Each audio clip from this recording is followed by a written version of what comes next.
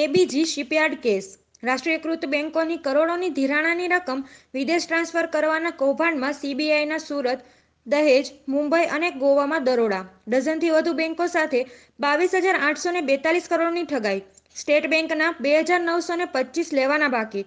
Surat, દહેજમાં SARFAESI એક્ટની કાર્યવાહી કંપનીએ ડઝનથી વધુ રાષ્ટ્રીયકૃત અને ખાનગી બેન્કો સાથે બાવીસ હજાર આઠસો ને બેતાલીસ કરોડની ઠગાઈ કરી છે, જેમાં સ્ટેટ બેન્ક ઓફ ઇન્ડિયાના જ બે હજાર નવસો ને પચીસ લેવાના બાકી છે. કંપની સામે બેન્કોના નાણાંની રિકવરી માટે સુરત અને ભરૂચ જિલ્લાના દહેજમાં સરફેસી એક્ટ હેઠળ કાર્યવાહી કરવામાં આવી છે.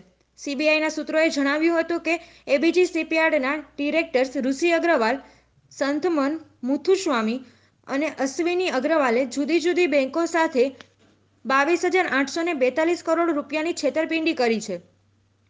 એબીજી શિપયાર્ડ અને તેની ફ્લેગશિપ કંપની જહાજોના નિર્માણ અને તેને રિપેરિંગ કરવાનું કામકાજ કરે છે. કંપનીના શિપયાર્ડ ગોવા ઉપરાંત ગુજરાતના દહેજ અને સુરતમાં આવેલા છે. એસબીઆઈએ આ કેસમાં સીબીઆઈમાં ફરિયાદ નોંધાવી છે.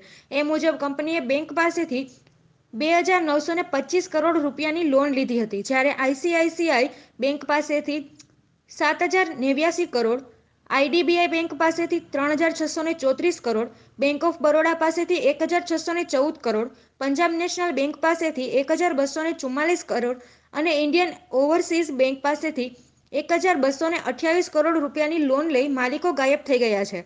આ મામલે એનસીએલટી સમક્ષ પણ લિક્વિડેશનમાં હતો. આ મામલો એનસીએલટી સમક્ષ પણ લિક્વિડેશનમાં ગયો હતો.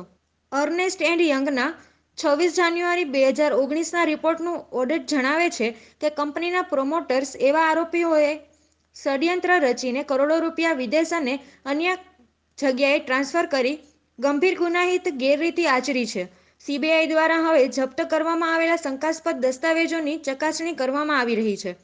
ઉદ્યોગ જગતના સૂત્રોના જણાવ્યા મુજબ બેન્કો સાથે થયેલું આ કૌભાંડ નીરવ મોદી, મેહુલ ચોકસી, લલિત મોદી, વિજય માલ્યા, સાંડેસરા ગ્રુપ કરતાં પણ મોટું છે.